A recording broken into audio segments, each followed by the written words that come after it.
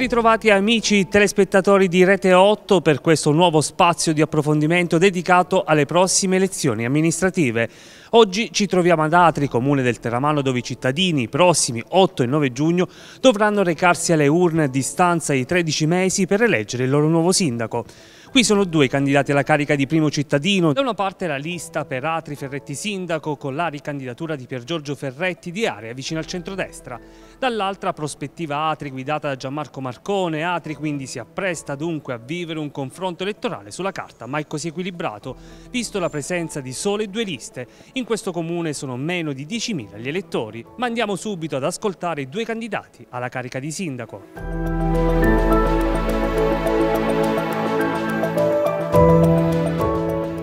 Il nostro primo ospite è il sindaco uscente Pier Giorgio Ferretti, candidato con eh, la lista per Atri Ferretti Sindaco a distanza di meno di 13 mesi ha deciso di continuare il suo percorso e riprendere questa battaglia, diciamo così, dal punto di vista politico. Sì, beh, naturalmente quella di ricandidarmi era ovviamente una scelta scontata per me e per eh, la coalizione naturalmente che mi onoro di rappresentare. I motivi eh, ovviamente sono quelli di riprendere un percorso eh, anche bruscamente se vogliamo interrotto per eh, completare il programma con un, mh, mm, una squadra mh, mm, rinnovata con tantissime professionalità, professionalità che saranno capaci di dare naturalmente ulteriore slancio, ulteriori opportunità, eh, ulteriori opportunità a questa città anche con idee nuove. Dall'altra parte anche con una buona parte della tra virgolette vecchia squadra che garantisce ovviamente anche una continuità amministrativa e una capacità amministrativa e quindi la fusione, la sintesi tra mh, quello che eravamo e queste ulteriori nuove professionalità sicuramente rappresenteranno una nuova opportunità data, ripeto, da un lato dall'esperienza eh, amministrativa di chi ha già dimostrato di essere stato capace di amministrare con eh, il nuovo e quindi tra virgolette con l'entusiasmo che viene da parte di chi si affaccia per la prima volta alla politica. Parliamo del programma, è un programma che comunque è stato rivisitato rispetto all'ultimo che era stato presentato? Certo è un programma eh, parzialmente rivisitato, da un lato abbiamo ecco, il completamento, eh, dico così perché ormai l'iter eh, è già partito e sarà anche rapido per quanto riguarda il parcheggio eh, in zona Porta Macelli che garantirà circa 70-80 posti, quindi anche un numero abbastanza corposo di posti a ridosso del centro storico, un'esigenza che c'era da sempre e eh, finalmente siamo arrivati. Poi al completamento eh, delle, diverse eh, delle diverse importanti opere pubbliche e soprattutto l'opportunità turistica. Ecco, questa volta sul, eh, sulla parte programmatica c'è eh, quest'ampio eh, aspetto legato al turismo di cui parleremo in campagna elettorale, ecco non vedo l'ora eh, di rincontrarmi con i cittadini perché eh, ecco, da quando non sono più sindaco vivo naturalmente meno il ruolo e questo mi dà una maggiore opportunità eh, di confronto già dal mese di gennaio eh, proprio per spiegare quelle che sono le motivazioni, quello che vogliamo fare e anche quello che abbiamo fatto perché in realtà noi come amministrazione uscente non l'abbiamo mai fatto ehm, e invece questa volta ho anche l'intenzione di spiegare bene eh, alla cittadinanza e alla collettività quello che le nostre amministrazioni sono state capaci di fare negli anni, anche con mm, uno stato emozionale forte, perché tante volte purtroppo devo ammettere come nostro difetto che non siamo riusciti a comunicarlo ehm, come sarebbe il caso di fare e come sarebbe dovere per un'amministrazione uscente. Lei ha parlato di turismo, un tassello fondamentale sì. per il suo comune che comunque rappresenta un'importante attrattiva per la provincia sì. di Teramo. Quali possono essere le strategie per incrementare questo fattore? Beh, intanto negli anni eh, qualcosa eh, è stato fatto, anzi forse più di qualcosa, ehm, perché poi quando ci si guarda indietro si vede che qualche risultato è arrivato. Innanzitutto c'è stata la riapertura dell'unico hotel eh, sul territorio nel corso di questi anni, sono nate diverse strutture ricettive e sono state acquistate anche da stranieri eh, alcune importanti e ampie strutture che garantiranno altri posti letto, mi riferisco da un lato eh, all'ampio Palazzo Sorricchio in centro storico, ad alcune ville eh, anche in, um, a ridosso diciamo, proprio del centro, della prima periferia di Via Aldomoro e queste naturalmente eh, acquistate, ripeto, da stranieri garantiranno ulteriori opportunità eh, di ricettività, cosa che manca fondamentalmente in Atri e quello che vogliamo fare naturalmente eh, riguarda il turismo nel senso più, più, ampio del termine, quindi per sfruttare tutte quelle che sono le opportunità, le opportunità di Atri, da un lato con il eh, turismo riprendere un serio discorso sul turismo religioso per mh, anche il gran numero di strutture, di chiese in centro storico con la nascita del diciamo tra virgolette neonato ormai di qualche anno santuario di Santa Rita su cui abbiamo anche fatto dei lavori a ridosso eh, della scalinata e la pavimentazione proprio per valorizzare ulteriormente quella chiesa ormai santuario, al turismo eh, legato alle bellezze storiche e architettoniche di cui eh, che la città può vantare, a quello naturalistico con l'oasi dei Calanchi e nuove opportunità di turismo perché dobbiamo anche cogliere le opportunità che ci vengono dai grossi poli scolastici, in questi anni hanno saputo dimostrare ehm, con i progetti Erasmus di saper fare bene con il turismo scolastico e con il turismo sportivo, cogliendo le opportunità che ci vengono, ripeto, dal CT e anche qui in coniugio con le associazioni sportive e con il locale liceo sportivo che vanta già ormai un'importante tradizione riconosciuta in un panorama ampissimo, quindi per coniugare tutte queste forme turistiche con anche qui eh, l'opportunità di nuovi posti letto che vengono dall'ultimo piano del Palazzo Cicada dove ci sono 27 mini alloggi e eh, dalla struttura del Booling eh, su cui abbiamo chiesto finanziamenti, quest'ultimo col PNRR, poi proprio per creare una eh, nuova struttura ricettiva e per mh, favorire tutte quelle possibilità che ci vengono da quelle strutture, dalle ricchezze eh, della città e profes dalle professionalità che si sono create in questi anni.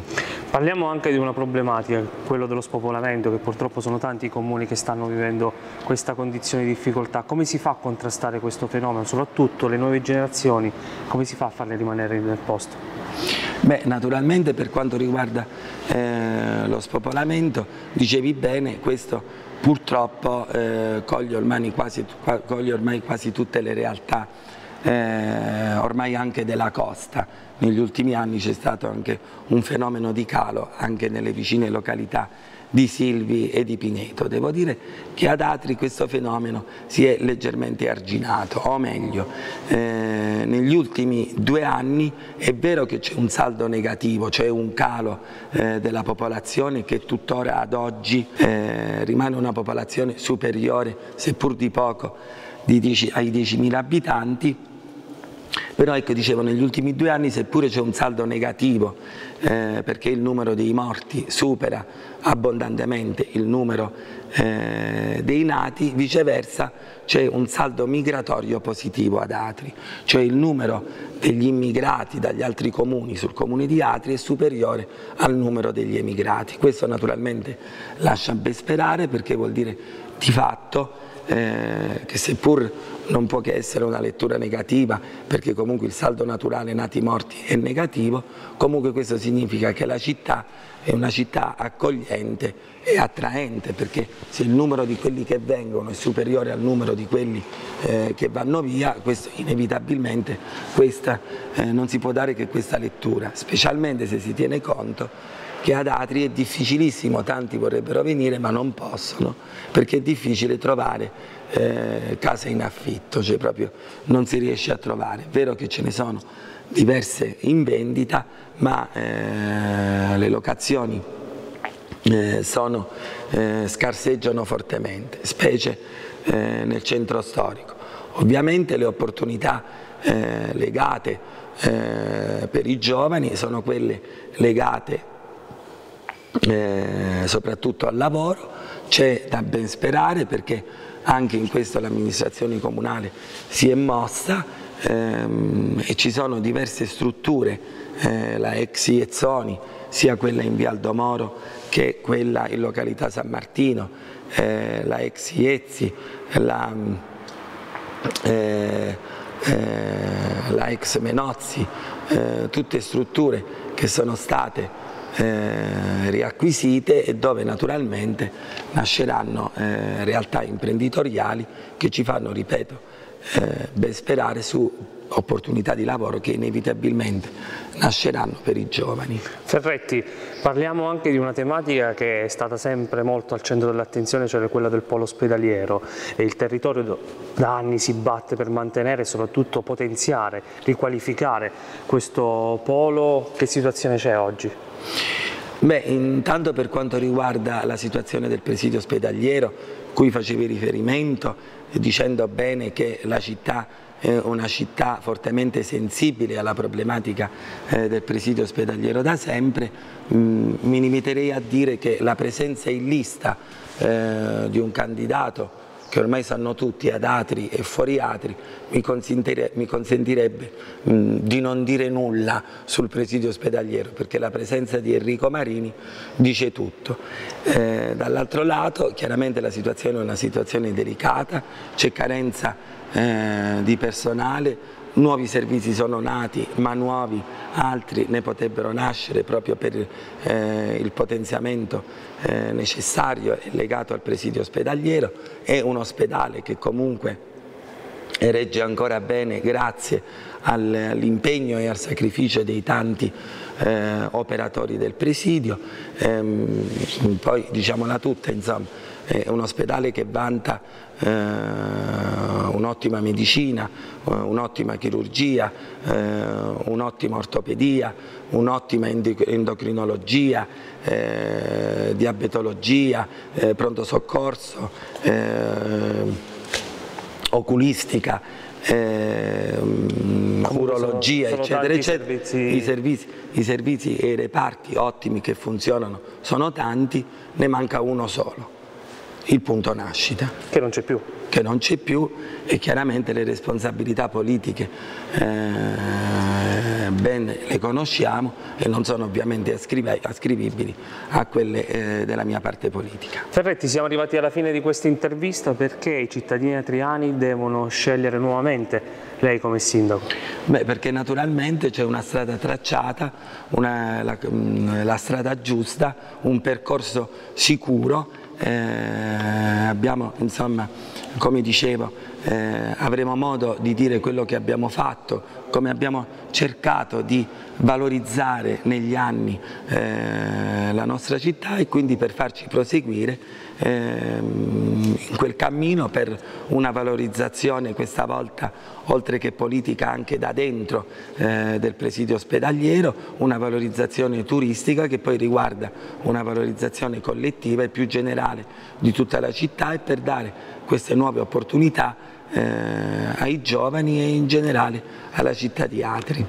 Grazie mille a Pier Giorgio Ferretti, candidato della lista per Atri, Ferretti Sindaco. Grazie, grazie a voi.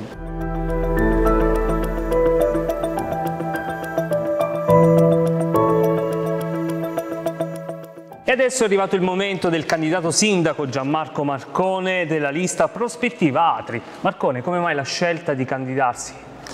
La scelta, se vogliamo, è una scelta naturale. Io vengo da anni di opposizione e, e quindi chiaramente di qui l'opportunità di creare un'alternativa. Insomma, la situazione di Atri è sotto gli occhi di tutti, una situazione stagnante eh, da molti anni a questa parte e quindi abbiamo inteso mettere in campo le nostre energie per creare una valida alternativa che eh, si ponga come, come dire, in un'ottica di discontinuità amministrativa rispetto alla, tua, alla scorsa amministrazione. Parliamo ovviamente dei candidati che insieme a lei porteranno avanti avanti questa battaglia? Beh, la, la, nostra lista è sicuramente una lista che si caratterizza per un forte rinnovamento, sono stati inseriti tantissimi giovani, competenti, professionisti, medici, avvocati, eh, anche molti ragazzi che vengono dal mondo dell'associazionismo, eh, un nome su tutti che è una garanzia anche dire, di serietà e di affidabilità amministrativa è quello di Ugo Giuliani, lo stesso Cesare Zippilli che eh, viene da eh, esperienze anche passate come amministratore del comune, eh, insomma sicuramente garantiscono un una dire, serietà e una stabilità amministrativa. Eh, poi abbiamo eh, tanti ragazzi giovani, eh, vogliosi, volenterosi, eh, ragazzi laureati, ragazzi che eh, rivestono ruoli in importanti aziende locali che sono, si sono messi a disposizione del nostro progetto perché credono e vogliono fortemente che Atri venga rinnovata. Parliamo adesso del programma, ovviamente parliamo dei punti cruciali.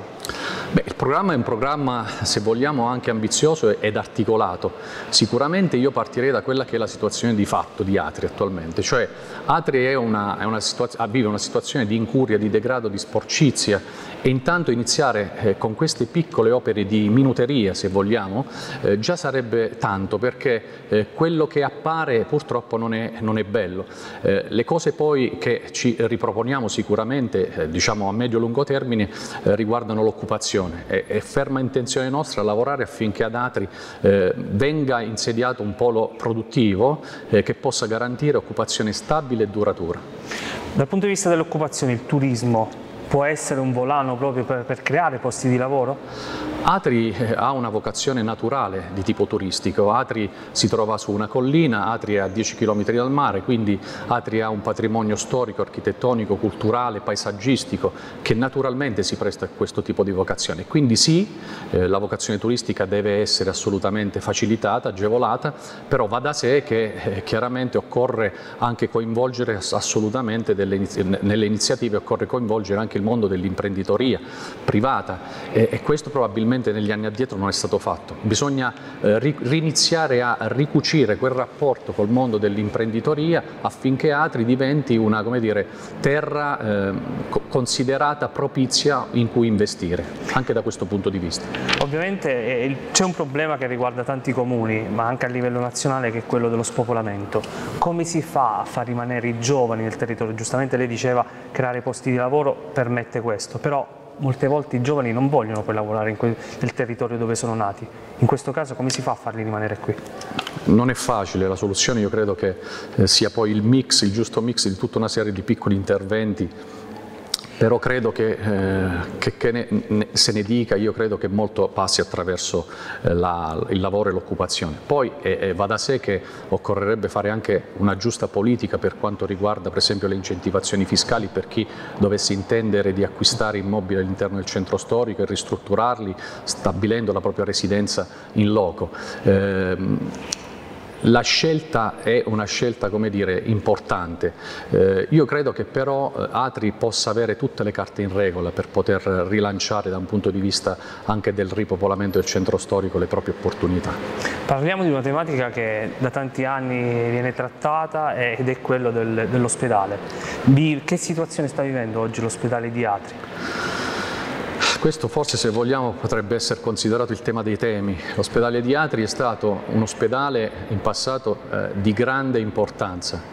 Eh, negli ultimi tempi eh, tuttavia ha subito un, un lento declino, eh, ricorderei le vicende del Covid Hospital quando l'ospedale di Atri è stato trasformato dall'oggi al domani in ospedale Covid per ben due volte, eh, senza però ottenere poi un, un, un sostanziale diciamo così, risarcimento, mi si passi il termine, o comunque un riconoscimento per me meglio dire. Eh, L'ospedale di Atri eh, ha bisogno sicuramente di essere sostenuto, è credo la prima industria ad Atri in termini occupazionali Eh, sicuramente eh, l'offerta diciamo, per quanto riguarda i servizi e le prestazioni sanitarie eh, ad oggi è un'offerta ancora di qualità, però il rischio è che nel tempo se dovesse venire a mancare un sostegno, come purtroppo non c'è stato fino ad oggi perché dobbiamo dircele tutte le cose, eh, il rischio è che l'ospedale possa progressivamente subire un ridimensionamento. Eh, mi corre l'obbligo di eh, precisare alcuni aspetti legati soprattutto al fatto che il mio antagonista ha inteso candidare un medico, eh, un ex amministratore di un comune vicino, come eh, baluardo, come eh, difensore dell'ospedale. Eh, va detto, va sottolineato un aspetto, ma senza far polemica, che questo medico fondamentalmente lavora in ospedale da oltre vent'anni, quindi se c'è una necessità, come sostengono loro e come sosteniamo noi, di dire, difendere l'ospedale, io credo che questa cosa dovesse essere fatta prima anche da questo medico che oggi si pone come paladino della difesa dell'ospedale, perché altrimenti mi viene da pensare che più che fare l'interesse dell'ospedale probabilmente venga fatto l'interesse di qualcun altro. C'è anche la questione, sempre rimanendo del tema dell'ospedale, del, ormai sono anni che Atri ha perso il punto nascita, un, un argomento molto trattato nelle varie campagne elettorali, però poi non si è mai riusciti a riportare questo, questo punto. È stata una grande iattura per, per, per Atri e per, per l'ospedale di Atri. Eh, aver perso il punto nascite probabilmente è stato il punto più basso della politica degli ultimi anni. Eh, non a caso prima parlavo delle vicende legate alla trasformazione dell'ospedale di Atri in Covid Hospital, perché noi consiglieri di opposizione eh, all'epoca, eh, peraltro facenti parte anche della Commissione Sanità del Comune di Atri, eh, sostenevamo avevamo l'opportunità, se così si, si, vuole dire, di poter chiedere in cambio, rispetto al sacrificio fatto della trasformazione per ben due volte dell'ospedale in Covid Hospital, chiedere appunto il ripristino del servizio del punto nascite. Eh, ci fu risposto in quella circostanza che eh, il, gli operatori sanitari, medici, parametrici avevano semplicemente fatto il loro lavoro, il loro dovere, che quindi non era, ad altri non era dovuto nulla eh, e è stata, questa è stata un po' anche la politica che è mancata. Io credo che eh, Atri per quelle vicende dovesse avere un forte riconoscimento e noi sostenevamo che quel riconoscimento potesse essere il punto nascita. Ad oggi eh, non è stato questo, non è stato così. Eh, io so, se dovessi diventare sindaco sicuramente, eh, ovviamente a quel punto significherebbe che entrerei a far parte del comitato ristretto dei sindaci e perorerei questa, questa causa eh, con tutte le mie forze. Cambiamo argomento argomento, la questione della sicurezza è un argomento molto importante per i comuni perché sta cambiando il mondo e a volte poi ci si trova in grandissime difficoltà. Si è parlato ovviamente anche del commissariato di polizia che è stato anche un altro argomento molto trattato, ovviamente queste due cose se vanno a braccetto meglio. Beh sì, sicuramente eh, la sicurezza, come si dice, non è mai troppa, troppo poca e quindi in questi anni, devo dire, sono stati fatti interventi per implementare il sistema di, di, di videosorveglianza anche da remoto, eccetera. Eh, fortunatamente devo dire che ad Atri non abbiamo avuto, eh, lo dico come dire a bassa voce, non abbiamo avuto episodi o fenomeni di particolare gravità da questo punto di vista. Eh, Atri eh, ha una situazione baricentrica rispetto alla costa e rispetto all'entroterra e quindi la presenza anche del commissariato garantisce eh, in un certo qual modo la possibilità di un intervento rapido e, eh, e credo che eh, la presenza altresì sia fondamentale perché se eh, vengono i piccoli centri o comunque i centri dell'entroterra progressivamente vengono spogliati di questi servizi fondamentali eh, si rischia poi che quel fenomeno appunto dell'abbandono diventi sempre più, sempre più forte e che quindi poi non si possa più porre un argine rispetto a questa situazione qui. Atri comunque rappresenta un importante nel suo territorio diversi istituti scolastici, rappresenta un, dire, un punto di riferimento anche per la costa. Assolutamente sì. Questo... È un contesto da implementare e da migliorare? Beh, sicuramente il polo scolastico è uno, è un, è uno dei fiori all'occhiello del, del, comune di Atre, anche per merito del sindaco uscente, insomma, questo bisogna riconoscergli nel merito. Eh, però io credo che Atri eh, debba soprattutto iniziare un po' ad avere l'ambizione di, di volare più in alto. Atri è stata in passato sede di una università, di un corso universitario che poi è stato perso e quindi invece eh, riteniamo, nel nostro programma lo abbiamo scritto a chiare lettere e abbiamo avuto anche il sostegno a questo, a questo riguardo da parte del professor Luciano D'Amico, riteniamo che Atri debba essere sede di un corso di alta formazione universitaria. Su questo ci stiamo già eh, diciamo così, lavorando attraverso appunto delle interlocuzioni, seppur informali avviate, ma riteniamo che Atri debba avere una sede eh, di alta formazione universitaria. Perché i cittadini atriani devono scegliere lei come nuovo sindaco del comune? Ma eh, devono scegliere me eh, semplicemente perché è arrivato il momento di cambiare aria, perché eh, la, la, come dicevo prima la situazione di Atri è sotto gli occhi di tutti, è una situazione che sicuramente è stagnante, è una situazione che eh, dire, dovrebbe essere valutata in maniera dire, obiettiva, eh, senza anteporre le simpatie, le antipatie, le ideologie. Noi siamo una piccola comunità e che deve essere amministrata. Chi ha avuto la possibilità di farlo negli ultimi anni, a nostro ovviamente modo di vedere, non è stato in grado di far fare quel salto di qualità, anzi piuttosto si è tornati indietro rispetto ad alcune situazioni. Noi invece riteniamo di avere quell'entusiasmo, quella grinta, quella voglia, quella determinazione giusta per consentire ad altri di recuperare il terreno perso e perché no anche di iniziare un po' a volare alto. Tra tutti quanti c'è una promessa che lei vuole fare ai cittadini atriani? Beh, la promessa che io ritengo eh, di, di, poter fare e di poter sicuramente dire, mantenere qualora dovessi essere eletto sindaco è quello di un impegno assoluto, una dedizione totale alla causa perché da atriani amiamo questa città e vogliamo che questa città torni ad essere quella che era una volta. In poche parole perché i cittadini atriani devono scegliere Gianmarco Marcone? Per i motivi che le ho detto, perché noi siamo persone che abbiamo maturato la giusta competenza sia in, in amministrazioni piuttosto che all'opposizione e eh, ripeto è arrivato il momento di avere la necessità di una discontinuità continuità amministrativa perché altrimenti poi si creano quelle incrostazioni, quelle, quelle ruggini all'interno delle amministrazioni che di fatto eh, non consentono a un comune di poter correre, di poter intercettare tutte quelle che sono le opportunità per esempio legate al PNRR eccetera eccetera. Il PNRR rappresenta un'occasione? PNRR rappresenta una grande occasione per il Comune di Atri che peraltro ha delle grandi professionalità al proprio interno che purtroppo però ad oggi non sono state opportunamente sfruttate. Siamo arrivati alla fine di questa intervista, grazie mille al candidato sindaco Gianmarco Marcone della lista Prospettiva Atri.